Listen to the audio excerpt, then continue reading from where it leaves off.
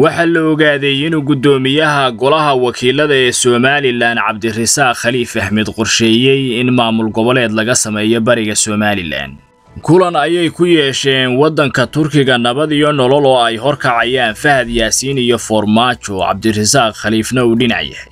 iyadoo ay halkaasi ku soo gorfeeyeen qalalaasaha iyo xasilooni darrada wakhtigan xaadirka ah ka taagan magaalada laascaanood ee xarunta gobolka sool. Kulankani oo xogtiisa la adkeeyey ayaa warbaahinta xogogaal oo dabagal ku samaysay waxa ay soo ogaatay qodobadii lagu heshiiyey. Waxaana aynu ku soo koobi doonnaa baahinteennan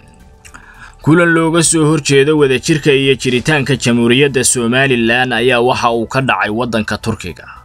iyadoo u dhexeeyey nabad iyo nolol iyo sida oo kale cabdirasaaq khaliif axmed oo ah guddoomiyaha golaha wakiilada ee somalilan xilligaasi oo aanay xiisadi ka taagnayn magaalada laascaanood ee xarunta gobolka sool ayaa halkaasi waxa lagu soo gorfeeyey lamber kowin s s c oo aan wax jira ahayn loo sameeyo maamul goboleed soomaaliya hoostaga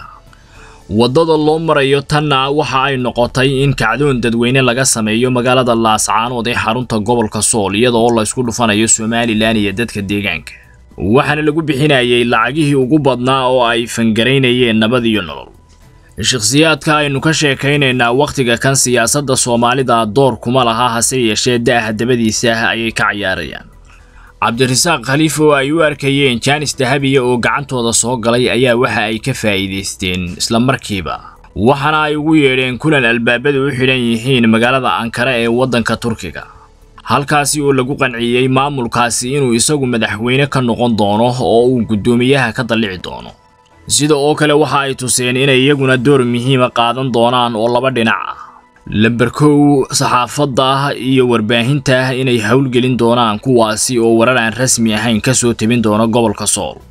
Qodobka labaad ee ay doorkiisa qaadanayaan ayaa ahaa dhaqaalaha lagu dhaqaajinayo arrinta tan inay qayb libax ka qaadanayaan. Sida oo kalena ay somalilan caalamka ku soo jeedinayaan oo albaabada dunida si weyn u garaaci doonaan sidii ballantuba ahaydna doorkoodii ayay qaateen cabdirasaaq khaliif axmedna sidaa ayuu ku soo ambabaxay isagoo ah guddoomiyaha golaha wakiilada ee somalilan waxaana iyadoo la eegayo xilkii loo igmaday iyo mas'uuliyadda uu hayo oo ah ninka saddexaad ee waddanka ugu sarreeya loo diray magaalada laascaanood oo gobolkiisii ahayd. Hase yeeshee isaga meelan rabin roob maygu helay ayay ahayd oo qorshihiisii ayuu hore u sii wadanayay intaa uun keliya kulamada waddanka turkiga ka dhacay ee lagu abaabulayay qorshaha kan kumay ekayn hase yeeshee garaadada iyo dhallinyarada deegaankaasina si weyn ayaa iyagana loola kulmay. Cabdirasaaq khaliif axmed ayaa saddex bilood oo uu daaha dabadiisa ka cayaarayay xaaladda laascaanood waxa uu ugu dambayntii dibadda iskeenay maalintii shalay ahayd. Isaga oo wakhtigan xaadirka ah debedmeer ka ah waddankii uu awoodda saddexaad isagu lahaa xildhibaanada golaha wakiilada ee jamhuuriyadda somalilanna ay diyaarinayaan mooshinka xilka qaadistiisa iyo mas'uulkii bedeli lahaa. Ka farxi ehelkaaga asxaabtaada iyo qaraabadaada.